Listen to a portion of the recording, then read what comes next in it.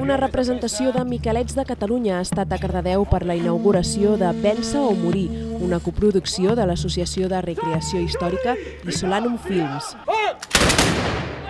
Ens situem al 1713, a un camp d'entrenament de l'Exèrcit de Catalunya, per conèixer què feien i com vivien els soldats que van lluitar a la Guerra de Successió. És ficció, però també és documental, perquè explica la narració és d'estil documental, es va descrivint el que passa en un camp d'entrenament, sense entrar en una trama purament ficcionada, però té elements de ficció, amb la qual cosa és un híbrid entre les dues coses. Però jo em quedaria que és més un documental que, que un curtmetratge d'estrictament ficció.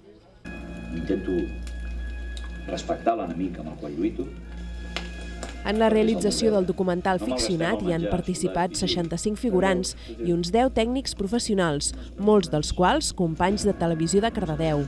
Doncs el rodatge va anar molt bé, va anar fins i tot millor que ens poguéssim imaginar. Per nosaltres era la primera vegada que gravàvem amb un grup tan nombrós de gent, jo no havia gravat mai amb, amb 65 persones, però com que són molt disciplinats, són un grup de recreació eh, militar, mm, tenen molta disciplina i la veritat és que va anar francament bé.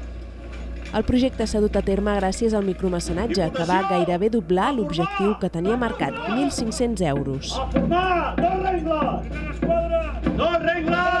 Regles! Recoloreu-vos!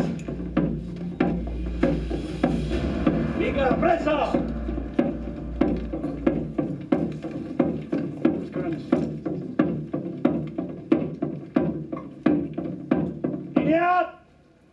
Eh?